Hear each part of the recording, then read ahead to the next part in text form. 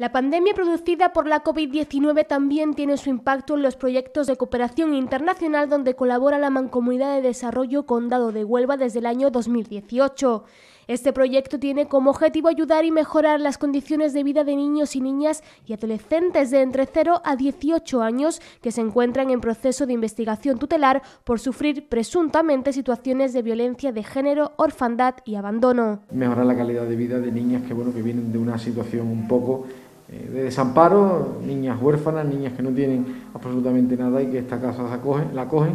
y nosotros, esta mancomunidad, los 14 municipios que forman la mancomunidad, ponemos 7.000 euros anuales para mejorar su calidad de vida. La colaboración de la mancomunidad permite la contratación de mano de obra y compra de materiales para cometer algunas mejoras en esta casa hogar. Además, esta financiación también destina su presupuesto a la compra de material escolar, ropa, calzado de vestir, así como manutención, transporte escolar y asistencia médica y pediátrica, junto con el apoyo psicológico. Son actividades de desarrollo de día a día,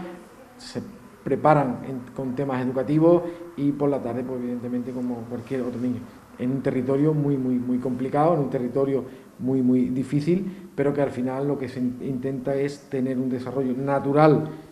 de cualquier niño. El programa se desarrolla desde el área de cooperación internacional de la Diputación Provincial de Huelva, la Asociación Santa Marta de Ayuda a la Infancia de Puerto Maldonado y la Mancomunidad de Desarrollo Condado de Huelva.